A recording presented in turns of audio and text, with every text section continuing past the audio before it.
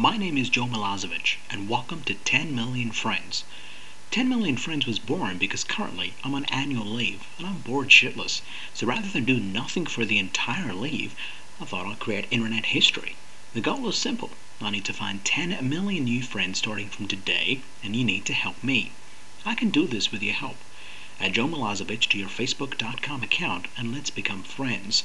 The world is such a terrible place sometimes, and this is my effort to bring 10 million people from all over the world together in one place. The other thing is, I'll be providing simple clues from my videos and blog to help you figure out who I am. But let me say, that's not going to be easy, and you'll need to work very, very hard.